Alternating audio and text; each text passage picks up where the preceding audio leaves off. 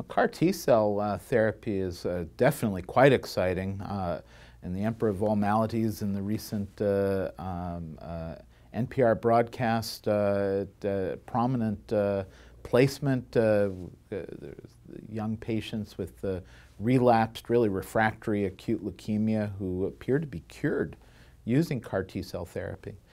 However, in solid tumors, particularly metastatic solid tumors, are much more complex compared to uh, childhood leukemias. There are many different molecular abnormalities. Mutation burden is probably much higher.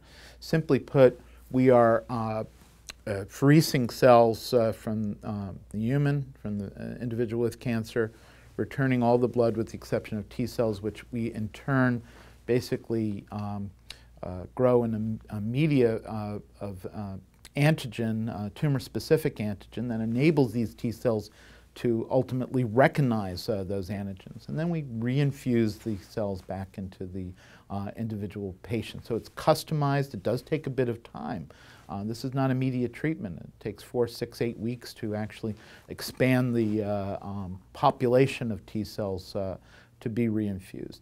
Presumably, once they're reinfused, they recognize these, T, uh, these tumor antigens. Uh, they've uh, developed a memory for these antigens and they search out and destroy the uh, cells that are harboring those antigens, which hopefully are exclusive to the tumors.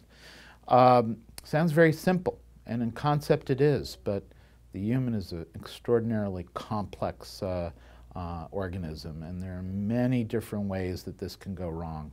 Uh, so far, at least the preliminary studies in adult solid tumor have not seen the benefits that we've observed in uh, childhood leukemia.